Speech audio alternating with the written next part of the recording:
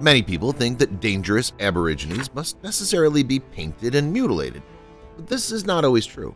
Many tribespeople look like quite ordinary people, but it's not recommended to visit these people because some of them meet strangers with clubs, and some of them shower arrows on strangers. This is Infinity, and today I'll show you the most dangerous tribes on the planet and tell you what they're capable of. Korubo Amazonia is considered a very dangerous place. Here you can find large crocodiles, giant anacondas, and toothy piranhas. And if you manage to escape from dangerous animals, you may come across even more dangerous aborigines. The Korubo people are one of them. These tribes people live in Brazil, on the border with Peru. Scientists learned about this tribe only in 1996 and almost immediately realized that it's better not to mess with these natives. The Korubo is considered one of the most dangerous tribes in South America and in the world as a whole. To understand why, you only need to know what these natives are called by Brazilians, and they call them people with clubs. The Korubo tribespeople practically never part with the bordunas, or battle clubs, which they use in the skirmishes against their enemies.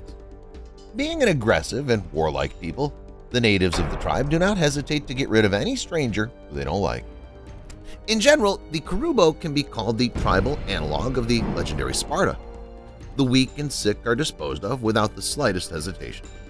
In the ranks of the tribe must be only the strongest warriors, not surprisingly, because the Korubo tribespeople often raid neighboring tribes. The Korubo women also take part in these battles. Needless to say, these warlike and tough natives regularly win the battles. Flecheros Let's stay in Brazil a bit longer because here lives another warlike people, the Flecheros tribe. The name of this tribe can be translated as archers.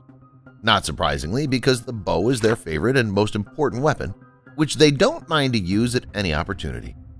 The natives themselves were first found about 15 years ago, and the first photos of the tribespeople were made by anthropologists from a biplane. When the biplane first flew over the tribespeople, they tried to shower arrows on it. There's logic in this behavior because the tribespeople might simply have been frightened by an iron bird they'd never seen before, or they were simply afraid of an invasion by anthropologists. Six years before the tribe was discovered, journalist Scott Wallace and human rights activist Sydney Possuelo had attempted to explore the jungles of Brazil to find unknown tribes there.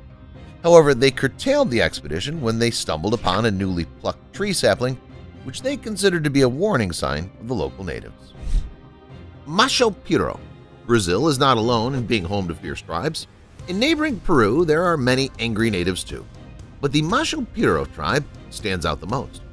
It's an isolated, non-contact tribe whose members live in solidarity and solitude in the jungles of Peru. This tribe first became known only in 2012. Spanish archaeologists discovered the natives and took pictures of them from a great distance. Over several years, scientists were able to study the tribe a little and established that the Mashco Piro is one of the most dangerous tribes in South America and in the world as a whole. The tribe's people live in complete isolation, refuse to make contact with anyone, and are insanely aggressive toward anyone who they think is a threat to them. The natives shoot at passing boats with tourists and fire warning shots in the direction of Manu National Park. A representative of another tribe tried to make contact with the Mashco Piro people, but he couldn't survive the ensuing massacre. The reason for this behavior is explained by scientists. Anthropologists think that the aggression of the Mashco Piro people is due to the fear of the outside world. Oil and gas companies and illegal loggers operate in the region force the Mashco Piro people to look for new places to live, and they don't like that at all. It may seem to some that the Mashco Piro is the most dangerous tribe on the planet, but believe me, this tribe isn't even close to some really crazy aborigines. Keep watching and very soon you'll learn about the most dangerous tribe on the planet whose aborigines hate strangers very much. Also, you'll see the Ecuadorian tribespeople who don't let anyone near them and learn about an isolated tribe to which it takes many days to get. Let's move on. Sentinelese Scientists are very lucky if they manage to get to the tribespeople to study the peculiarities of their everyday life. But it doesn't always work out. Some tribes live so isolated and remote that they're almost impossible to find, and some of them hate any outsiders.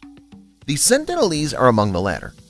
These tribespeople, who live on the North Sentinel Island in the Bay of Bengal, which is near India, are famous for their incredible aggression toward any strangers.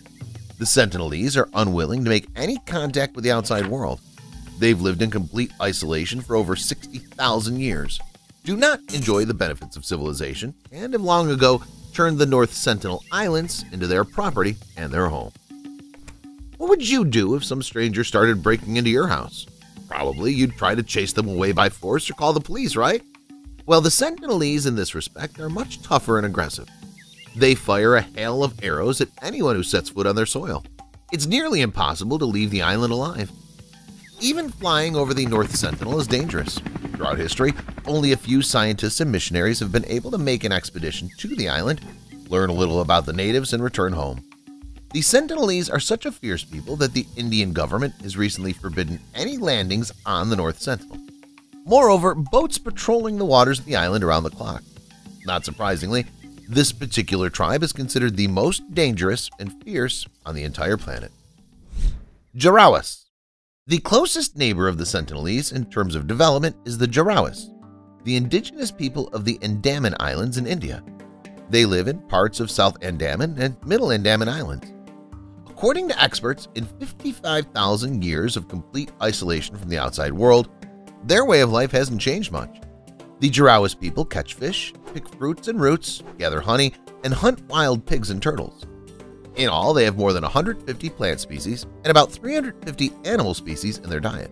Until recently, the Aborigines were extremely aggressive and dangerous. They categorically refused to communicate with strangers and, like the Sentinelese, greeted them with arrows.